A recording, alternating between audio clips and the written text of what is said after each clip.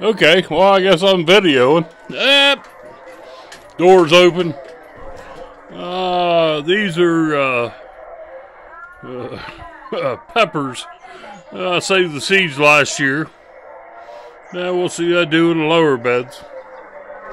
Uh, two dozen Brussels sprouts, 75 foot row. Yep, that'll work. These are uh, volunteer tomatoes that come up in the mulch. Save the seeds. The best tomatoes I think I've ever seen. So uh, I grew them from seeds. That's why they're in these egg cartons. Yeah, so I'll let you know what's going on in the Big Hill. Mike on the mic. Hmm, ATV. Yep, Geo. Ready to go get mom and her load of wood tomorrow.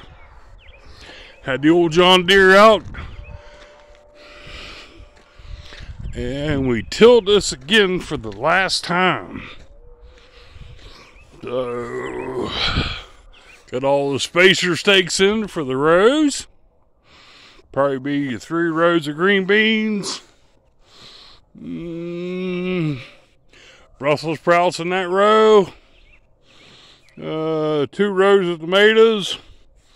And I got three or four rows that don't really know what I'm going to put in, but uh, I want to show you this. Uh, there's an idiot stick, what Pop called it. That way I can run a tiller through it.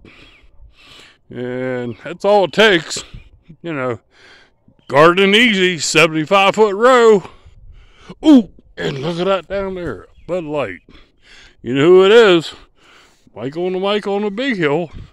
Oh, and there's two uh, uh, 40 foot rows over there that I'll be putting uh, Straight Eight cucumbers on. Take care. You know who it is. You know where about on the big hill.